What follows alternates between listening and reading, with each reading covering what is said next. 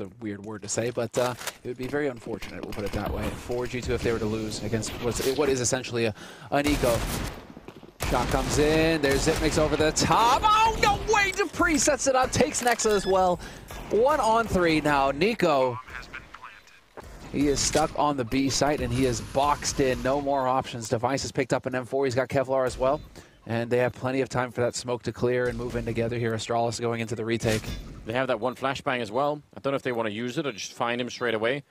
No kits uh, for obvious reasons. And yeah, I think they're hoping to see him somewhere.